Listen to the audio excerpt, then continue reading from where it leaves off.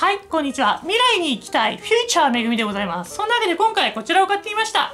暮らしをもっとスマートに、スマホで全家電を操作、e リモート、えー、リンクジャパンさんのものを買ってみました。こういったものってね、去年ぐらいから出始めまして、一番有名なのはおそらく IR キットというやつです。IR キットは、あのー、ソフトウェアがね、確かね、あれオープンソースになってるんです。だから、売れたんじゃないかなと思うんですよ。仕様が出てるとね、オープンソースだとやっぱ面白いんで、そんなわけでヒットしたかなと思うんですけど、新しめに出たこっちを私は買っていました。去年ね、IR キット出た時にすぐ飛びつこうかなと思ったんですけど、種類がね、結構出てるんですよ。何種類か、10種類ぐらいかな。出てて、どうしよう、どうしよう、どれにしよう、どれにしようって言ってる間に時間が経ってしまったんですね。だからもう、本当はあの時に飛びつけばよかったなと、今後悔しておる次第でございます。で、本体がこちらです。えー、モーター車こういう風に入っていてこれが本体でここに充電器と USB 充電器じゃない USB ケーブルと給電用ですね。で入っていて、えー、これ自体はすごくシンプルで、えー、マイクロ USB とリセットボタンしかないです。あとは電源ランプとかしかない。でじゃあどうやって使うかというとマイクロ USB は通信用ではなくあの充電です。ここに給電します。でこれを自宅の無線 LAN ルーターに接続します。無線 LAN ルーターに。そして、えー、昔私ソニーの学習リモコンって紹介しましたよね。これが例えば学習リモコンだとしたら、えー、この Apple のリモコンをこう覚えさせてこっちからこれと同じようなそうこれがもういらなくなると。覚えたボタンで使えるようになる。っていう学習リモコンをそうあの紹介したと思うんですけどそれの完全未来版です。こいつに要はこう今ね手元にいっぱいリモコンがあるじゃないですか。このリモコンをこいつに全部覚えさせます。覚えさせます。そしてどうやってじゃあこいつが覚えたリモコンを操作するか？テレビの電源を入れるか？エアコンのスイッチを入れるか、えー、ダイソンを動かすか？ルンバを動かすか？っていうことなんだけど全部スマートフォンからやります。こちらにこれのアプリがありましてそこから操作できるんです。つまりこの暮らしをもっとスマートにスマホで全家電を操作というのはそういうことなんですね。こちらのアプリからこれを操作します。あのスマートフォンでスマートフォンにこれを直接覚えさせることはできません。赤外線とかあのー、これはあくまで w i f i 機器なんでないないじゃないですか。通信の通信っていうかリモコン機能が。だからこっからこれをリモコンにすることは不可能なんですよ。それをやるのがこの中継機になります。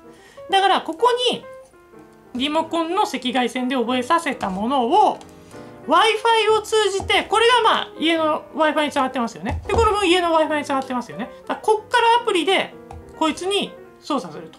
だからここのアプリで電源をあのエアコンの電源ポチって押すとこっちに信号が飛んでピッとつく。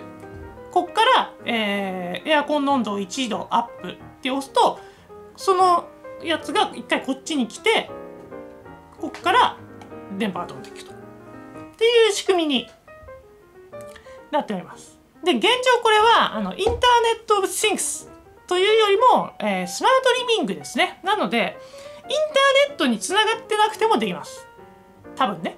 ちょっと後で調べて、あの、できなかったらテロップ貼っておきますね。まあ、できると思います。えー、ただ必要なのは無線 LAN ルーターですね。あの、それが、無線 LAN ルーターがインターネットにつながってなくてもいいんですよ。自分家の無線 LAN ルーターなんで。だから、家庭内ルーターがあれば使えるという感じで、私は、これがなくなって、ここにワンチップ埋め込んであって使えれば理想だとは思うんだけど、まあそれはまだ遠い未来ですよ。だからこの中継機が必要と。いう感じですね。拡張ユニットとでも言いましょうかね。こういうのあれじゃないですか。そのうちこれはここに埋め込まれるといいよねっていうのが前回の雑談だったんですけどあのまあ埋め込まれるまではまだ全然高くありますよ。世界世界で売ってるからね。企画も変わってきちゃうし。そんなわけでこれはねまあこれから使って今開けたばっかりなんでわからないんですけど、ちなみに Amazon で1万円ぐらいで買いました。高いやつだと2万円だったり、えー、IR キットだったらもうちょっと安いんだかな、8000円ぐらいだったりするんですけど、安いやつだと3000、4000円で買います。で、それちょっとね、どうなのかなっていうレビューを見るとね、思います。自分、まあ自分で使ってみないとわかんないですけど。なので、えー、これをね、この部屋ではなくベッドでとりあえずベッドにベッドルームに置いてエアコンだったり加湿器だったりいろんなもの、えー、電気だったりっていうものを覚えさせてここで操作しようと思っております。どのくらいうまくいくのかもわかんない。まあラグはあると思うんですよ。これピッて押してこっちに無線飛んでそっからだからまあ1秒はないかもしんないけど体感速度でラグがあるかどうかっていうのをやってみないと。わからないんでちょっとあれなんですけどいだからこれは学習リモコン兼 w i f i 機能を備えたものです。何？UFO みたいな。ちょっと未来感あるじゃん。ペンタゴンみたいな。未来感があるから。ちょっとデザインも気に入ったんで。これ買ってみました。これがね普及したらすごいいいですよね。例えば他にもさカーテンうちは導入してないんですけどカーテン開けないんで。あのカーテンを今ピッてやるとさ自動でウィーンってカーテン開くじゃんあれ実は安いから。あの普通に家具屋行くと数万円でセあの売ってるんできっと。きっとつければピーって自動でカーテンが開くやつってできるんでそしたらこれでピッてできるようになると。でさらにこれねインターネットにつなぐと外から操作することもできると。まあこれがちょっとできるかっていうのはちょっと調べてみないと分かんないんですけどできるやつもあると。インターネットで例えば最寄り駅まで着いたで家に帰る。そしたら家の中寒いじゃん。ただ家の中のリモコンをもう操作できてしまうとかね。っていうことだったりあとはまあ変な使い方かもしれないですけど例えばペット飼ってる。ペット飼ってたらペットを見たいじゃないですか。監視したいじゃないですか。なんか大丈夫かなって。その時に、えー、この辺にカメラつけといてそのカメラを出先からピッと操作してこれが起動して出せとかね。そういったいろんなことが使える、まあ、未来ガジェットかなと思います。だからもうねリモコンってさ物買えば買うほど増えていくじゃん。だからこれはねあの当然なんですよあってしかるものだと思うだからただその本体に電源がついていればなくても構わないっちゃ構わないじゃんだからこれで操作できると。で今回、えー、これをね操作するところなんですけど今回はここまでで動画を終わらせます。あの開封動画と概要という感じで喋って終わりにしようと思います。実際これを2、3日使った後に、えー、レビュー、正式なレビューをしたいと思います。だからその 次の動画で私が全然こいつ買い物になんなかったってがっかりしているかあれは神だもうみんな買いなさいこれこそまさに未来ガジェットだって言ってるかは、えー、数日使って、えー、試されるものですね他にもねこういったものいっぱいあるんですよ。例えば電源プラグに挿す Wi-Fi 機器。あの電源プラグに挿すじゃん？で Wi-Fi で操作できるんですよ。ということであれですあのリモコンのない機器ってあるじゃん。リモコンのない機器はあこれこれでできないじゃん。だけどコンセントであればコンセントに w i f i 機能埋め込んじゃえばコンセントごとオンオフできちゃうんですよ。それってさらに進むと待機電力っていう問題があるでしょ？例えば使ってない家電製品はコンセントから抜いた方が待機電力少なくするから電気代浮くんだよっていう話よくやってんじゃないですか。それは抜くのめんどくさいじゃん。だけど w i f i 機能でピッてやってしまえばコンセント全部オフになるから。そういったねあの便利なものも出始めています。まあ去年ぐらいから結構出てるんだけどなかなかね話は聞かないですね。だけど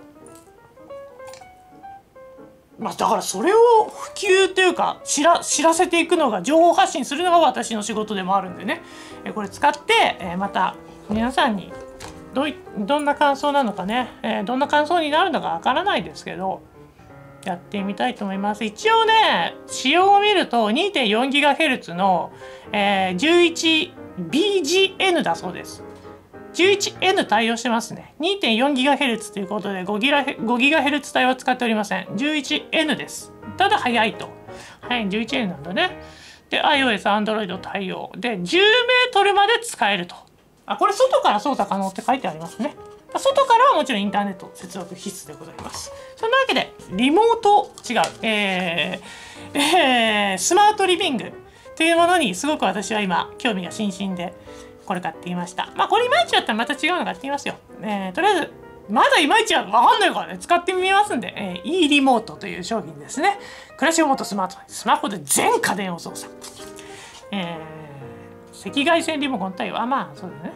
で e リモ e リモートというリンクジャパンさんのものになります。えー、Amazon で1万円切ってました。9600 600円、700円ぐらいでした。まあ、概要欄貼っておくんで、そちらから正しい値段見て、えー、気になる方は買ってみてください。まあ、いろんなものあるんで、どれがいいかっていうのは私はまだ分かってません。